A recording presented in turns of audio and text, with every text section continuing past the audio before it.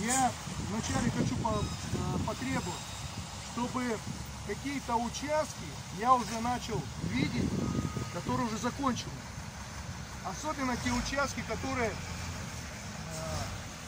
ну, уже долго идет ремонт, которые упираются какие-то в объекты, где мы не можем проводить работы, и эти объекты мешают. Почему? Тоже по улице Зверев. Хотя подрядчику я говорю, почему не делаешь благоустройство?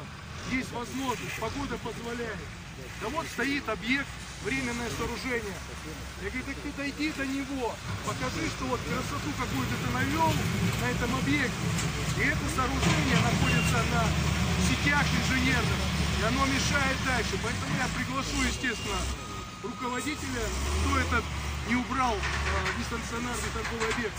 И вот, пожалуйста, у меня есть основания потребовать.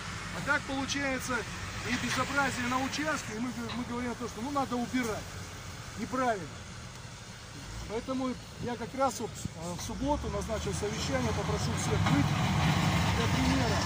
И, кстати, потребовал от организации, которая назрела, чтобы участок четкий один от перекрестка Ротенкова Зверева до остановки сделали идеально, чтобы это как был пример. То есть у нас э, получается выполняются работы там, где вроде мы захотели. Должна быть четко разбита территория на участке и уже начинаться, должен появляться вид, которая улица должна получать. Люди должны видеть, граждане, что вот для чего делается благоустройство. И тогда уже э, многие противники благоустройства, в кавычках, они меньше вопросов задают. А когда идет подход э, работ не совсем э, комплексный, да, то, соответственно, получается много грязи.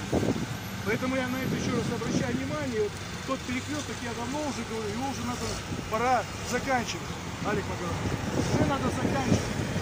Чтобы люди видели, что да, вот это красота. Здесь вот проект закончен. У нас везде все раскопано, и нигде, значит, соответственно, законченного участка нет.